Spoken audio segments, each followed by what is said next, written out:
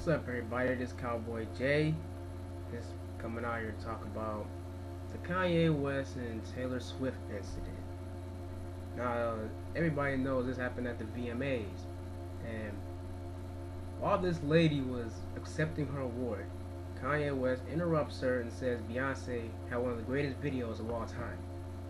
In my opinion, I feel like that was just flat out disrespectful. The girl she didn't even expect to win the award, and he comes up there and ruins her moment. Everybody is just in shock, looking at him like, "What the hell?"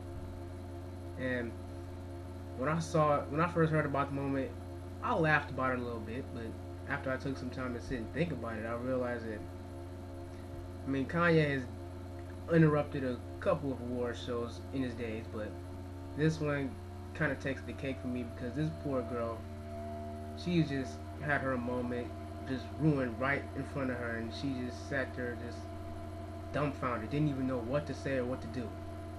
And I kind of lost a little respect for Kanye. I do give him a thumbs up for trying for the apology and everything, but still, it was just that was a classless move, and Kanye should feel really ashamed of himself. And also, big up to Beyonce for giving up her her award moment to let her have her moment.